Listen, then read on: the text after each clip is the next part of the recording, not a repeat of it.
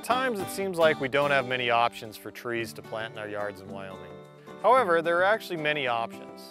One of these options includes oaks. Wyoming is host to two native varieties of oak, the bur oak and the Gambel's oak. Bur oak is native to the Black Hills area, and Gambel's oak is native to southern Carbon County. Oaks are great because they provide us with a different shape of leaf and acorns that can be quite attractive during the summer.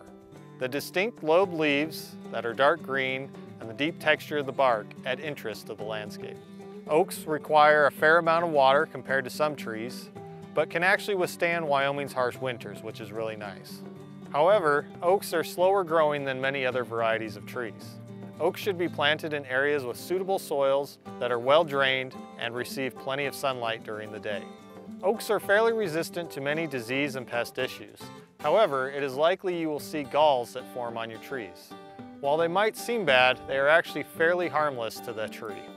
So the next time you're making decisions about planting a tree in your yard, consider an oak. They're hardy for Wyoming, they have great aesthetics, they have acorns which are helpful for wildlife, and they can be great shade during the hot summer.